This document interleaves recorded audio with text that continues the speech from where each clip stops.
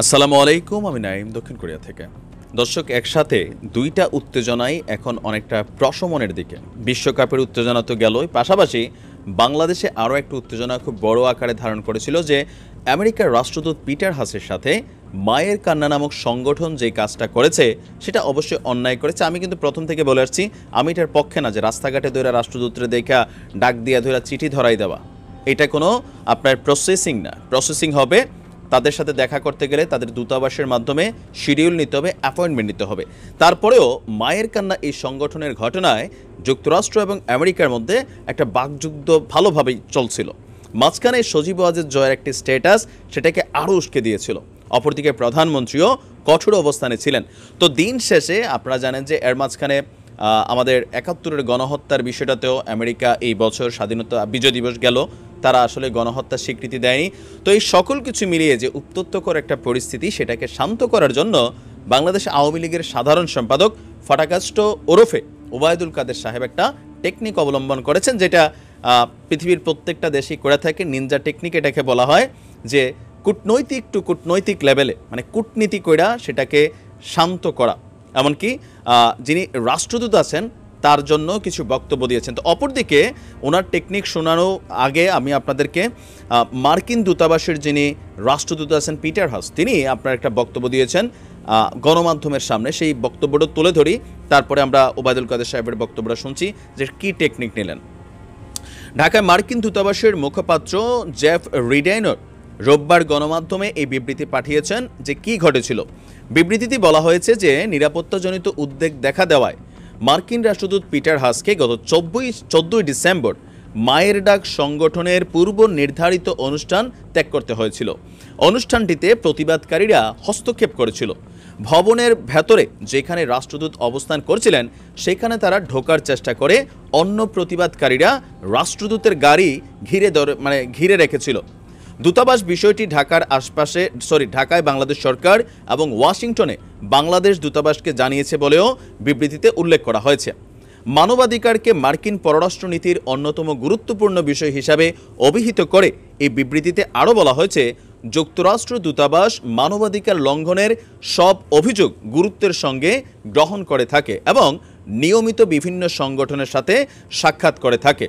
তো যেই সংগঠনটা সেখানে গিয়া বলা হচ্ছে যেটা সরকারের আশ্রয় প্রশ্রয়ে এই সংগঠন চলে, মায়ের কান্না। বিবিসি সহ মার্কিন গণমাধ্যমগুলো কিন্তু এটা প্রকাশ করেছে। তারা বলছে যে এই মায়ের কান্না নামক সংগঠনের কাছ থেকে আমেরিকান এম্বাসি এই পর্যন্ত কোনো রকম কন্ট্যাক্ট পায়নি। মানে আমেরিকান এম্বাসির সাথে তারা কোনো রকমের যোগাযোগ করেনি বলেও দাবি করেছে মার্কিন দূতাবাস। আর ঘটনার দিন মায়ের ডাক নামক সংগঠনের আয়োজনে ঢাকার শাহিনবাগে যখন তিনি যান, সেইখানে গিয়া এই পরিস্থিতিটাতে তিনি হঠাৎ করে পড়ে যান আর পরে পররাষ্ট্র মন্ত্রণালয়ের সাথে বিষয়টা সম্পর্কে শেয়ার করেছেন। তো এরপরে এখন যে বর্তমান উদ্ভূত পরিস্থিতি, সেই পরিস্থিতির মধ্যে মোটামুটি একটা শান্ত করার অবস্থানে নিয়েছেন বাংলাদেশ আওয়ামী লীগের যিনি কি বলা হয় যে, সাধারণ সম্পাদক আছেন ওবায়দুল কাদের। এই বিষয়টাকে তিনি এখন ধরেন বিএনপির দিকে কিছুটা যে মার্কিন রাষ্ট্রদূতকে বিতর্কিত করার জন্য বিএনপি এই কাজটা করছে, কোথায় করছে, মায়ের ডাক সংগঠন দাওয়াত দিয়ে গেছে। এখন মার্কিন রাষ্ট্রদূত বলছে যে মায়ের ডাক ওলাদের তো ঝামেলা নাই, তারা তো ভাই আমাদের সাথে পূর্ব নির্ধারিত প্রোগ্রাম ছিল, ঝামেলা লাগাইছে মায়ের কান্না। সো এখানে অভিযোগকারী যিনি, তার বিষয়টা সামনে আসবে। তবে আমাদের আওয়ামী লীগের যারা আছেন, তারা আবার অনেকেই বলছেন যে না ওনার উচিত ছিল যে মায়ের কান্না সংগঠনের চিঠি নেওয়া।